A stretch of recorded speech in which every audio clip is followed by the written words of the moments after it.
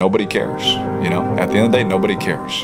What we're going through, how your body feels, nobody cares. We gotta, we gotta do our job. Life, life is tough sometimes, and it's not fair, and it doesn't care sometimes. Uh, but you're gonna hold true to what you believe, and you're gonna hold true to who you are, and you're gonna be that person, whether it's easy or it's not. Is it fair? No, uh, because I want to have emotions about things. I want to think about things as a human being, you know. Um,